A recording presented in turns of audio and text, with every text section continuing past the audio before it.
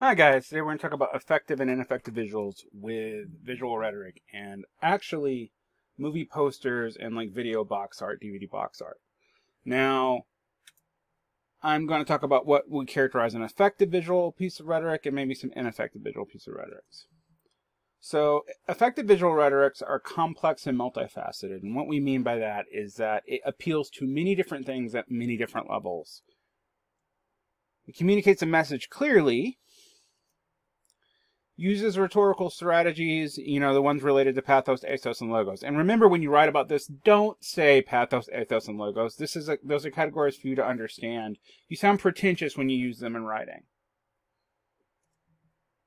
They are visually interesting, they can be controversial, thought-provoking, appealing, etc. And they often utilize a tagline to set up what's going on or some other small bits of text, but small bits of text. Ineffective visuals fail to communicate anything but something superficial, do not provoke analysis or discussion. Are these posters from um, TV, uh, movies from the last decade, or actually last two decades, effective, and why? So this is a poster for The Butler. Now, since you got in the top screen, you see inspired by a true story. You see one voice can ignite a revolution. All right.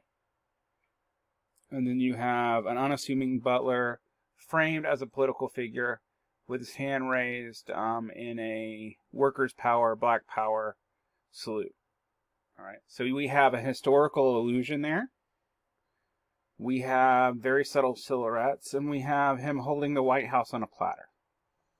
All right, so this is inspired by a true works. That's a kind of logos appeal. It's an appeal that gives you credibility. It's also an ethos appeal, right? So you got that. The tagline: "One quiet voice can ignite a revolution." Since a strong uh, message that the movie's about more than a butler, you see the term revolution. The the raised fist is a sign of revolution and uprising. Ethos uprising uh, in the mid 20th century for equal rights. We now associate that fist with the Black Power. Although, if you actually study the history of that fist, that fist has been associated with um, socialism and workers' revolutions going all the way back to the 1890s.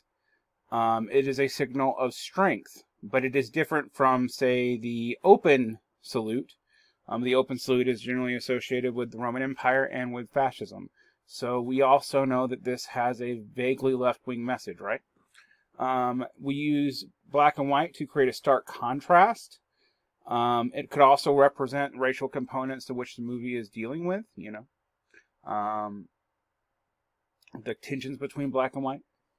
The White House is on a platter represents the obvious, but could also represent serving up equality for the first time. And note that the only color in the entire poster is the American flag. Right?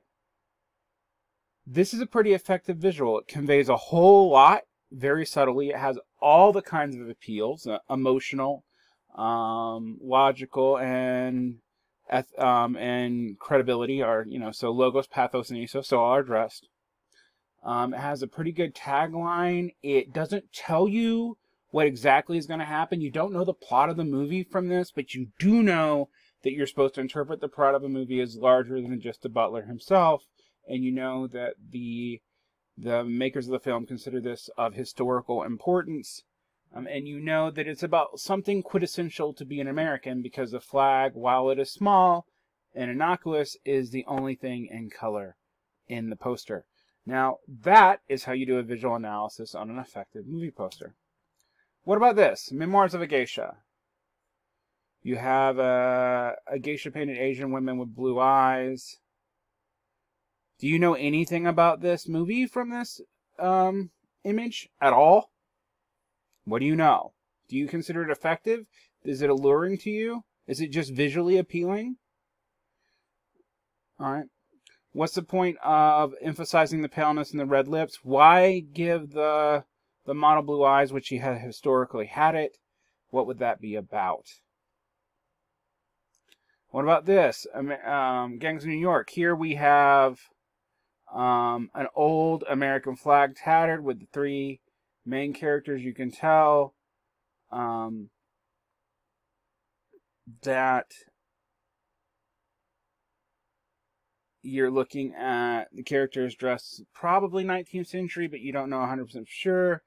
But you hear the tagline, America was born in the streets. And then you notice, if you look at the tattered flag closely, the tattering of the flag actually resembles the modern New York skyline. So, what are you supposed to learn about this movie? Do you find it effective? All right. Good night and good luck. We have the author, we have something that looks like the American flag, but it's off color in both presentations. In the top, you have straps in black and white, which can invoke either the flag or prison. And in the bottom, you have the American flag invoked, but instead of it being red, white, and blue, you have it as in black and red. Um, you have a figure um, in black and white, which invokes the time period this movie is probably supposed to be taking place in. And we have in red, which is the only other thing, um, we will not walk in fear of one another. And you see here that the movie is in black, white, and red. That are the only colors in the poster. All right, do you find this effective and ineffective, and why? What kind of appeals is it making? Why invoke black, white, and red? All right, what about this one by Anthony?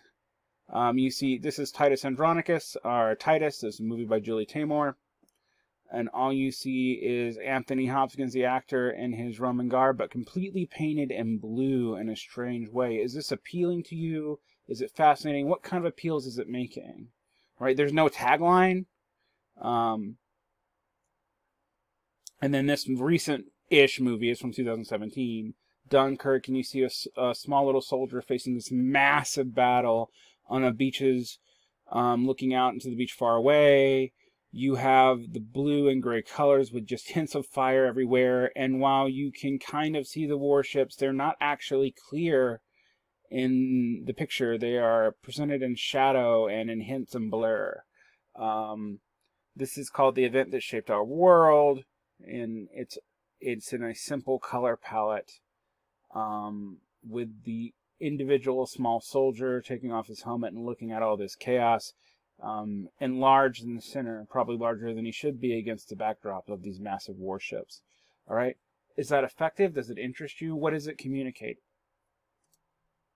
All right, and what about this one? Is this effective? All you have is a date and X. Right. As a side note, this is a ad for the movie Malcolm X, which I believe came out in the late 80s, early 90s, starring Denzel Washington. But you know none of that. There's no tagline. You just have X and a date. Does this interest you? Would this be effective? Would this work now? Um, is this effective visual rhetoric?